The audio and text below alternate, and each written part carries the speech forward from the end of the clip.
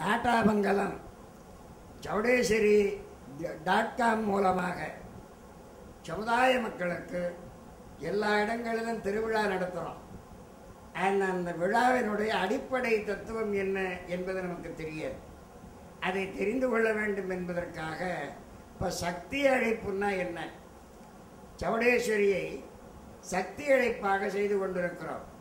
அந்த சக்தி அழைப்புன்னா என்ன என்பதை இப்பொழுது நீங்கள் தெரிந்து கொள்ளப் போகிறீர்கள். ஏற்கனவே நான் துவஜ ஆரோகணத்தில் குடியேற்றத்திலே ஸ்ரீசைலத்தை குறிப்பிட்டு காட்டினேன். நம்முடைய ஏழு தேவாங்க அவதாரங்கள் ஏழு. ஒன்று தேவல் அவதாரம். ரெண்டாவது வித்யாதர் அவதாரம். மூன்றாவது புஷ்பதந்த அவதாரம். நான்காவது வேதாள அவதாரம். ஐந்தாவது வரரிஷி அவதாரம். ஆறாவது தேவசாலி அவதாரம். ஏழாவது தாசமையன் என்கிற தேவதாசமையன் அவதாரம். இந்த ஏழு அவதாரங்களிலே ஏழாவது அவதாரம் இன்றைக்கு ஆயிரம் ஆண்டுகளுக்கு முற்பட்டது என்று பார்த்தோம். அந்த ஏழாவது அவதார காலத்தில் முதனூரில் இருந்து நெசவு நெய்த அவர் அரசரும் அவரே குருவும் அவரே நெசவு நெய்து வாழ்க்கையை நடத்துதல். மக்களுடைய வரிப்பணத்திலே உண்டு கொடுப்பது என்பது தேவாங்க மன்னருடைய பழக்கமல்ல. நான் நெய்த நெசவிலே ஒரு பிரம்மாண்டமான கொடித்துணியை சித்திர விசித்திர வேலைப்பாடு என்று அதனை மாம்பழ கவிச்சிங்கன் அவரர் குறிப்பிடுவார். சித்திர விசித்திர வேலைப்பாடுகள் அமைந்து இன்னைக்கு இருக்கிற நடைமுறை பற்றி நான் பேசுறதுன்னா புட்டாமடிக்கு நெய்து சார். அப்படி விசித்திரமான வேலைப்பாடுகளோட கூடிய கொடித்துணியை ஸ்ரீசைல மல்லிகார்ஜுனமூர்த்திக்கு கொடியாக ஏற்றினார் அந்த கொடித்துணியை பற்றி பலவேறு வரலாறுகள் தேவாங்க புராணத்தில் குறிப்பிடப்படுகிறது. வேதவேசரை சொல்லுவார். இந்த துணியை நெய்தவுடனே இந்த துணிக்கு என்ன சார் விலைன்னு ஒருத்தன் கேட்டானான் பக்கத்தில் இருந்த ஒருத்தன் மூணு விரலை நீட்டி இருக்கிறான் இதற்கு விலையாக மூன்று உலகத்தையும் கொடுக்க வேண்டும் என்று அவன் விளக்கம் வேற சொல்லியிருக்கிறான். மகாவிஷ்ணுவினுடைய சக்கரம் வந்தது மூணு விரலையும் அறுத்துட்டு தான் ஏன் ஏன்னா அந்த கொடித்துணைக்கு விலையே கிடையாது. தான் நம்முடைய கொடித்துணையினுடைய மரியாதை. மூன்று உலகத்தை தந்தாலும் ஈடாகாது. தேவாங்கன் நெய்த துணிக்கு என்பது மகாவிஷ்ணுனுடைய திருவுள்ள கருத்து. ஏன்னா நூல் கொடுத்தவர் அவர் தானே ஆக அப்பேற்பட்ட புனிதமான கொடித்துணியை மல்லிகார்ஜுன மூர்த்திக்கு ஏற்றியிருந்தார்.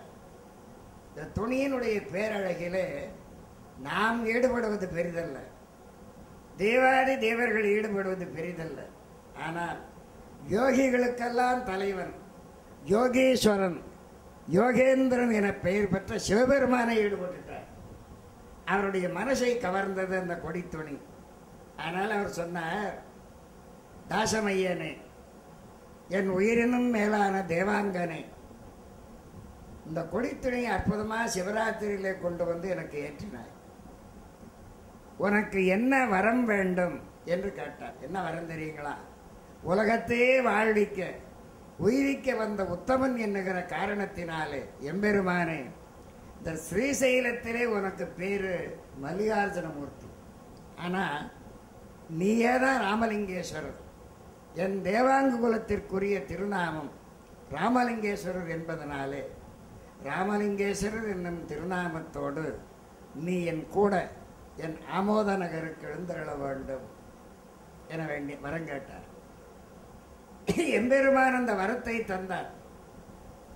அடுத்தபடி கேட்டார் சுவாமி இங்கே பௌராம்பிகை என்னும் திருநாமத்தோடு உன் இடப்புறத்திலே இருக்கிற அம்பிகை என் தாய் என் தேவாங்க குலத்திற்குரிய தெய்வம் ஸ்ரீ சௌடேஸ்வரியாக எழுந்தருள வேண்டும் என வரம் வேண்டினார். எம்பெருமான் சொன்னால் என்னை பற்றி கேளப்பா நான் சொல்லிடுறேன். நான் வருகிறேன். உன் விருப்பத்தின்படி ராமலிங்கேஸ்வரராக நான் வருகிறேன். ஆனால் அம்பிகை வருகின்றாளா இல்லை என்பது அவரிடத்திலே கேட்டுக்கொள். தாயை நோக்கி தாய்ப்பசுவை நோக்கி தேவாங்கு கன்று ஓடியது. அன்னையை பணிந்தது அன்னையே சௌடேஸ்வரி என்னும் திருநாமத்தோடு. என்னோட நீ மகாசக்தியாக எழுந்தருள வேண்டும். இதுதான் சார் சக்தி அழைப்பு என்கிற வரம் வேண்டினார். அப்ப எம்பெருமாட்டு தெரிவித்தார். நான் வருகிறேன். தேவாங்கன் அழைத்த கண்டிப்பா வரணும். வருகிறேன். ஏன்னா என் குலமக்கள் நீங்கள் வருகிறேன். ஆனால் திருவள்ளுவர் தான் சொன்னார் ஆனால் வந்து ஆபத்து இல்லை ஆனால் வந்து விட்டது. என்னை திரும்ப பாராமல் அழைத்து போக வேண்டும். இதான் அம்பிகை தந்த வரம். தேவாங்கர்கள் ஒப்புக்கொண்டார்கள். ஆனால் இந்த ஒவ்வொன்றையும் நோண்டி பார்ப்பது என்பது தேவாங்க சமுதாயத்தில் ரத்தத்தோடு உரியது இந்த குறுக்கு சால் ஓட்டுவது நேராக ஓட்டுவது சால் அதே குறுக்கு சால் ஓட்டினா இதில் நாம தான் உலகத்திலேயே முதல் ஆள் குறுக்கு சால் ஓட்டுறதில்ல. நம்ம ஆளில் ஒருத்தர் கேட்டார் திரும்ப மாறாமல் கூட்டு போகிற சொல்கிறியம்மா நீ வர்றே வரலங்கிறது எனக்கு எப்படி தெரியும்னா தெய்வம் வாக்கு தவறாது என்று நினைத்து பார்க்க நம்மால் முடியல. சில நேரத்தில் தெய்வங்கள் கூட எளிமையாக இருந்தால் தான் கிடக்கும் போடுறோம் ஆக இதற்கு பதில்தான். என் பாத சிலம்பொலி கேட்டு என்னை அழைத்து செல்லுங்கள். ஆக பண்டைய வரலாறுகளிலே கூட சக்தி அழைக்கிற பொழுது சிலம்பை ஒலித்து கொண்டே போதல் என்கிற மரபு புகையிலேயே இருந்தது. ஆக இந்த ஊரில் வந்தது. சக்தி அழைப்பு யானை மேலே அழைக்கிறது அல்ல முடியும். ஆனால் அது அல்ல.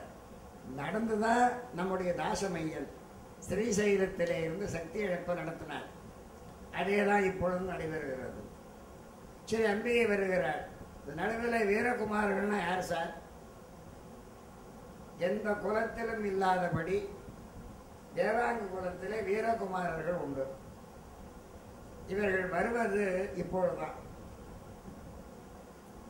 எப்பொழுதுமே சோதனை என்று ஒன்று வந்தால்தான் சாதனை. உலகத்தில் இப்போ காசி விசாலட்சி சொல்கிறோம்னா விஸ்வநாதரை சொல்லணும்னா விஸ்வநாதர் உடனாய விசாலட்சின்னு சொல்றது அல்ல உடனாய விஸ்வநாதன் நாராயணன் சொல்றதா இருந்தால் லட்சுமி நாராயணன். மீனாட்சி உடனாய சொக்கநாதன். சிவகாமி உடனாய நடராஜன் என்றுதான் சொல்லணும். முதல்ல அம்பாள் பெயர். ரெண்டாவது அப்பன் பெயர். இதுதான் மரபு. நாம தலைகள் வியாபாரம் வச்சிருக்கிறோம். ராமலிங்க சவுடேஸ்வரி தந்தையின் பெயர் முதலிலும் தாயின் பெயரும் பின்னாலும் வைத்திருக்கிறோம். ஏதோ பெரியவங்க சொன்னாங்க நாமளும் சொன்னோம் என்று சொல்லி கொண்டிருக்கிறோமே தவிர இதில் இருக்கிற வரலாறு என்னன்னு நமக்கு தெரியாது இப்பொழுது தெரிந்து கொள்ளலாம். ராமலிங்க சௌடேஸ்வரி என நம் தெய்வத்தின் திருநாமம் மாறியதற்கு காரணம் இதுதான். இப்பொழுது வருகின்ற வரலாறு தான் வழியிலே ஒரு காட்டாறு வந்தது. நடந்து வந்த ஊர்வலம் இந்த ஆற்றை தாண்டி வந்தது. அன்னைக்குன்னு விடிவசத்தில் அந்த காட்டாற்றில் முழங்கால் அளவு தண்ணீர். எல்லோரும் இறங்கி நடந்து வந்தார்கள். தேவாங்கருக்காக ஸ்ரீசைலத்திலே இருந்து திருவடி நோக மலரினும் மெல்லிய பஞ்சினும் மெல்லிய அந்த திருவடியாலே கல்லிலும் முள்ளிலும் நமக்காக அன்னை நடந்து வந்தாள் அந்த திருவடிகள் நீரினுள்ளே நுழைந்து நடந்து வருகின்ற பொழுது சிலம்பொலி கேட்கல சிலம்பொலி கேட்கலையே. அன்னை வருகிறாளா இல்லையான்னு திரும்ப பார்த்தான். அங்கேயே மறைந்து விட்டார். ஆக நிலத்திலே மலை நிலத்திலே இருந்து அழைத்து வந்த அம்பிகை நீரிலே மறைந்து விட்டார். செய்வது அறியாது திகைத்து கொண்டிருந்தார்கள். அந்த நிலையிலே தான். ஏண்டாலாம் சும்மா இருக்கிறீங்க?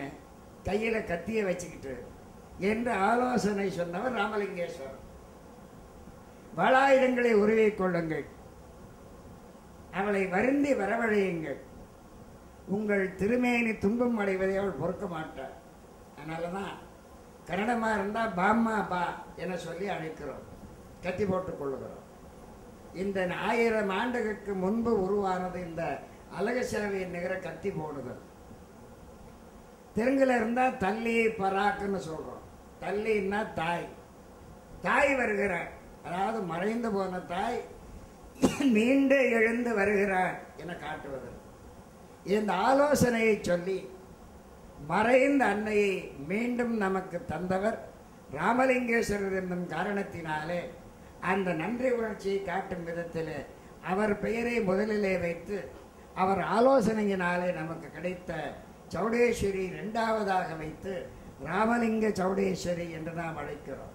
அன்று நம்முடைய தேவாங்க வீரகுமாரர்கள் கத்தி போட்டுக்கொள்ள ஆரம்பித்ததுதான் இன்றும் தொடர்ந்து கத்தி போட்டுக்கொள்ளுகிறோம்.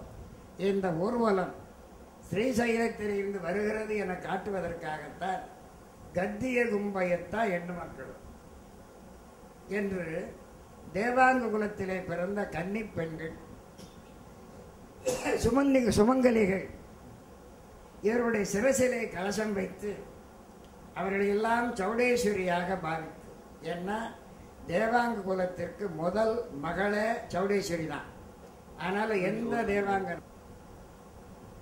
ஆக தேவாங்க கன்னி பெண்களையும் சுமங்கலிகளையும் அவருடைய சிவசிலே நீர்க்கரகம் கலசத்தை வைத்து அவர்களே சௌடேஸ்வரியாக பாவனை செய்து பாம்மா பா என சொல்லியும் தள்ளி பராக் என சொல்லியும் அழகு சேவை செய்து அவர்களை அழைத்து கொண்டு வருகிறோம். ஆக இந்த மகாசக்தியை ஈஸ்வரனுக்கு இடப்புறத்திலே ஆண்டு கொண்டிருக்கிற எம்பெருமாட்டி சர்வலோக மகாசக்தியை ஸ்ரீசைலத்திலே இருந்து சக்தியாக நாம் அழைத்து கொண்டு வந்து பச்சை பந்தலிட்டு அச்சு வெள்ள கோட்டையும் அழகு கரும்பு பந்தலும் மெச்சும் விதத்தில் கட்டினோம் மகிழ்ந்து வா மகேஸ்வரி என சொல்லி அச்சு வெள்ளங்களினாலே கோட்டை கட்டி கரும்பினாலே சுவர வைத்து வெற்றிலை கொடிகளாலே மேற்கூர்வை வைந்து எந்த தெய்வத்திற்கும் இல்லாத இந்த அற்புதமான கோட் கொலுமுகத்தை அவளுக்கு என நாம் பாவித்து நடுவிலே அவளை முதல் பணியாக மகாசக்தியாக எழுந்தருளச் செய்து அதன் பின்னாலே அவளை வணங்கி வழிபடுகிறோம்.